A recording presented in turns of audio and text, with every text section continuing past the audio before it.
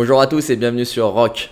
Aujourd'hui, on va poursuivre avec les spéculateurs de la route de la soie, l'event en cours qui durera pendant 3 jours.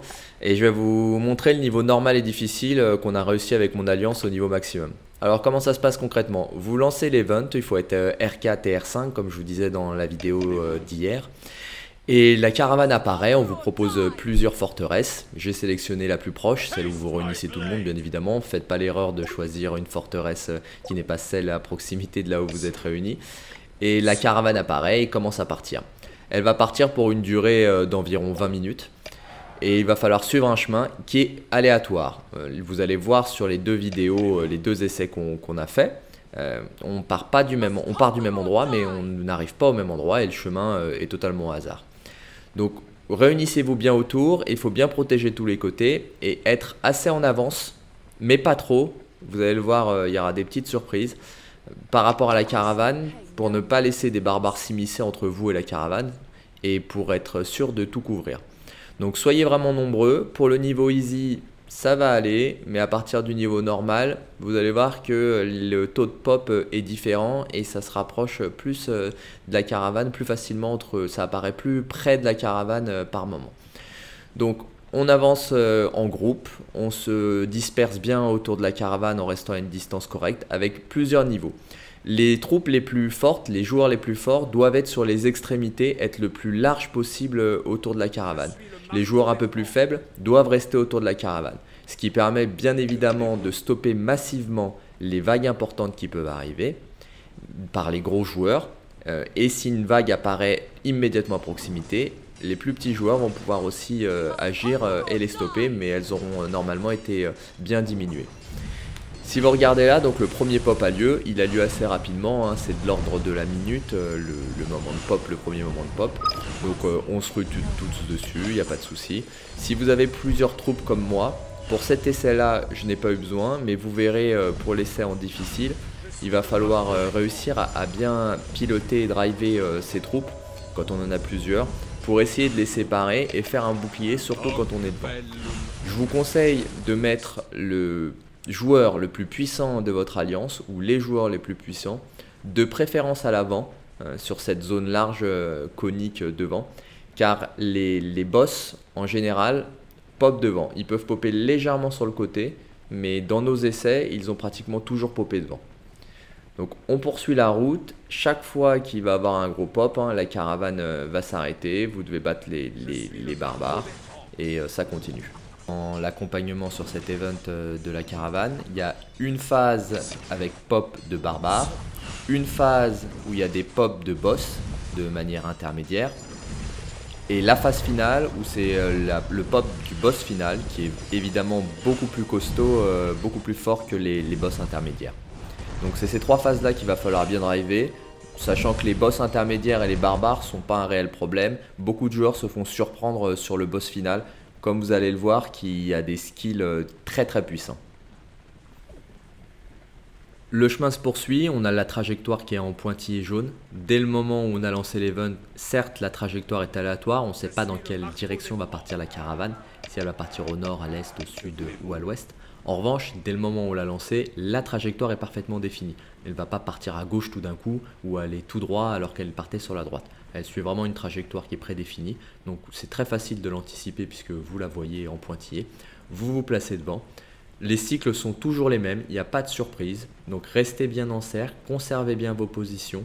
Le plus dur à ce stade reste de réussir à cliquer sur l'unité. Parce que vous le voyez, on est très nombreux et c'est ce qu'il faut être. Il hein. faut être vraiment nombreux pour pas avoir de surprise. Alors évidemment, sur les plus bas niveaux, vous n'avez pas besoin. Mais dès que vous passez à un niveau plus haut, ça va être plus difficile. Donc n'hésitez pas à zoomer. Moi j'avais la chance d'être devant, donc je pouvais tout de suite sélectionner mes, unités et rusher sur les barbares ou sur les boss. Mais si vous êtes un peu dans la masse ou quand vous arrivez, s'il y a déjà du monde sur le barbare, vous aurez du mal à les sélectionner. Donc n'hésitez pas à zoomer pour ça. Servez-vous du système de déplacement qu'on a vu euh, pour les tips que j'ai donné dans la vidéo sur le kill event, où vous pouvez double-cliquer sur vos unités pour tout sélectionner, ou alors cliquer sur une troupe de barbares et mettre, euh, envoyer toutes mes troupes dessus. L'avantage, encore une fois, hein, si vous avez plusieurs unités, c'est de les dispatcher un petit peu en tour de façon conique. Vous envoyez un petit peu en haut, un petit peu en bas, mais toujours dans le même secteur parce que sinon vous aurez du mal à switcher votre écran, du moins à le glisser pour euh, aller bien couvrir toutes les zones. Donc là, vous voyez, on arrive à 21% de progression de la livraison. On est toujours à 100% de vie pour la caravane, donc on peut avancer tranquillement, il n'y a aucun souci. Le boss va bientôt arriver puisqu'il arrive autour des 25%. Donc on se déplace, on le sait qu'il va arriver, c'est pour ça qu'il faut regarder régulièrement la hauteur de la vie de la caravane, ce qui vous permet d'anticiper euh, l'avenue des boss. Il arrive dans une zone très souvent devant, mais ça peut être un petit peu en bas, un petit peu en haut. Là, sur ce premier boss, vous allez le voir, ce premier mini-boss, on va dire, il est un petit peu en bas. Donc, je vais devoir me repositionner pour aller rejoindre les autres, mais sachant qu'il y a déjà des unités en bas, elles vont immédiatement le prendre. Le but est vraiment de stopper les vagues, donc il faut que quelqu'un se positionne tout de suite, que ce soit sur les boss ou sur les barbares. Il faut tout de suite les stopper, donc tout de suite se positionner dessus, au moins une unité. Et puis après, les autres peuvent rejoindre le groupe et donc aider, accompagner, comme dans toute attaque groupée, bien évidemment. Donc là, ça va bientôt apparaître. Vous allez le voir, ça va être en bas. On va très rapidement se positionner autour de lui. Tout le monde va se diriger massivement. Voilà, je sélectionne mes troupes, je continue d'avancer pour protéger, puisqu'on ne sait pas où le boss va popper.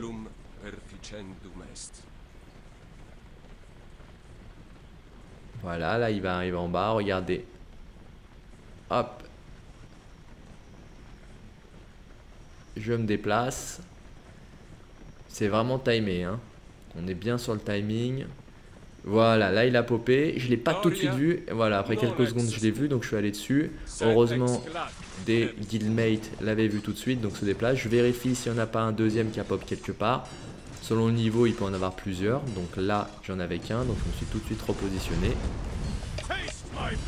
Je l'attaque massivement avec toutes mes unités. Le temps d'y arriver voyez, au départ, ça descend pas vite, normal. Et puis, une fois que tout le monde est dessus, bah, ça va aller très vite. Sachant que, comme je vous l'ai dit, vous voyez, dès qu'il est pris, il ne bouge plus, il n'avance plus vers la caravane. Donc, c'est vraiment ça qui est important. C'est les empêcher d'approcher la caravane. Donc, tout de suite se mettre dessus et les tanker. Voilà, il est mort. Vous voyez, c'était très rapide. Donc, on se repositionne pour réceptionner les prochains barbares. Donc, ça va être comme ça tout du long. Ce qui est important, c'est vraiment de garder une formation circulaire autour de la caravane et bien avancer tout le long, tout le monde bien à son poste. On va faire une ellipse pour aller au boss final parce que là ça va rester comme ça. Il va avoir trois autres cycles comme celui-là avant le boss final. Donc ce qui est important, c'est vraiment d'avancer, de conserver de la cohérence et de la cohésion et surtout cette, cette structure circulaire autour de la caravane. Voilà, on arrive sur la fin de l'event. Ça fait à peu près 20 minutes qu'on escorte la caravane. On est à 85% du trajet. Autour des 90%, 92%, le boss final va pop. Ce qui est intéressant de savoir, vous voyez, on est à 95%, on a eu 2% de, pertes. Ce qui est intéressant de savoir, c'est que tous les essais vous apprennent des choses. Là, cet essai nous a permis de voir, puisqu'on a perdu 2%, que des barbares pouvaient quand même apparaître très proches de la caravane sans être collés. Donc les troupes qui sont immédiatement autour de la caravane, pour l'essai qu'on a fait avec succès au niveau difficile, les troupes qui étaient autour de la caravane se sont rapprochées davantage pour ne pas se laisser surprendre, ce qui fait qu'on a passé à hauteur de 99,80% l'essai suivant au niveau difficile. Je vous invite à prévoir une, plage large, de l'ordre de l'heure ou l'heure 20, puisqu'il faut rentrer et soigner pour faire les, les events. Parce que vous allez faire les trois essais d'un coup, ça sera vraiment optimiser le temps de tout le monde. Donc vous prévoyez un rendez-vous à heure fixe chaque jour de l'event, donc durant trois jours. Tout le monde se réunit à cette heure et vous faites les trois essais d'un coup, ce qui vous permettra normalement de les réussir assez simplement avec tout le monde de mobiliser.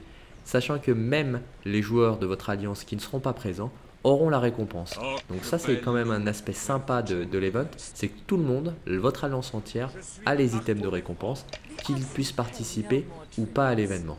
Donc ça, ça vraiment, ça motive euh, chacun à participer s'il le peut, et même si vous ne le pouvez pas, donc euh, vous allez avoir les récompenses, et donc c'est mérité.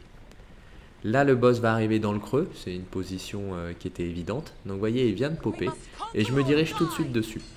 Il faut savoir que le boss pratiquement one-shot euh, les troupes. Celui qui tank va être one-shot sur une, zone juste en face de lui.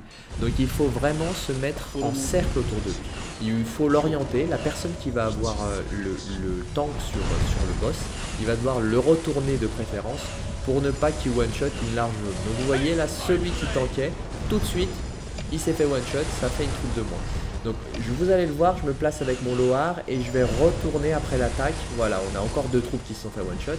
Et je vais retourner le boss pour ne pas qu'il soit face à tout le monde et éviter qu'il puisse euh, one shot plusieurs troupes en même temps. Donc vous voyez, j'ai réussi à résister à son assaut. Ce qui one shot pratiquement. À ce niveau-là, il one shot pas encore. Au niveau d'après, il one shot, du moins sur euh, mes troupes, il one shotait au niveau difficile. Donc vous voyez, je l'ai retourné, ça a permis à tout le monde de pouvoir le taper sans se faire blesser, sans perdre d'unité. En revanche, moi j'ai perdu deux unités au total, mais c'est vraiment pas grave car il y a peu de blessés sévères. Voilà, on a réussi l'event, c'est fini. il n'y a plus qu'à escorter la caravane une fois qu'il est mort. On a pensé qu'il allait peut-être avoir un, dernier pop de, de, barbares en plus, mais non, pas du tout. Là, on a essuyé quelques, quelques attaques supplémentaires de barbares, puisqu'on pensait qu'il n'y aurait que le boss. Mais non, il y avait encore plus de barbares euh, qu'à l'essai précédent, puisqu'à l'essai en facile, il y avait très peu de barbares en plus du boss. Donc il n'y a plus qu'à attendre tranquillement que la caravane se dirige vers le village. Vous voyez, elle s'arrêtera sur le petit village qui est, juste là, le petit village tripal. Elle va arriver, on l'escorte. Il n'y a plus d'enjeu, hein, tout le monde attend tranquillement, patiemment. Et comme je vous l'ai dit, tout le monde va avoir les récompenses qui sont déjà assez intéressantes même à bas niveau. L'objectif est vraiment d'aller au niveau le plus haut possible puisqu'à partir euh, du, de l'avant-dernier niveau, le niveau effroyable, vous allez pouvoir avoir une statuette en or et au niveau L, vous allez pouvoir avoir deux statuettes en or. Donc c'est vraiment ce qui nous intéresse, obtenir à chaque essai deux statuettes en or. Si vous êtes performant, le dernier jour, vous aurez trois essais avec deux statuettes en or, ce qui peut vous permettre potentiellement d'avoir six statuettes en or sur le dernier jour de l'événement. Et si vous avez réussi tout du premier coup, vous aurez fait deux essais supplémentaires et au total, vous en aurez eu 12. Voilà, je vous souhaite bonne chance à tous et n'hésitez pas à venir reconsulter cette vidéo si vous avez besoin ou interagir avec moi sur la chaîne, à me laisser un commentaire si vous avez des questions. Bon jeu à tous et à plus.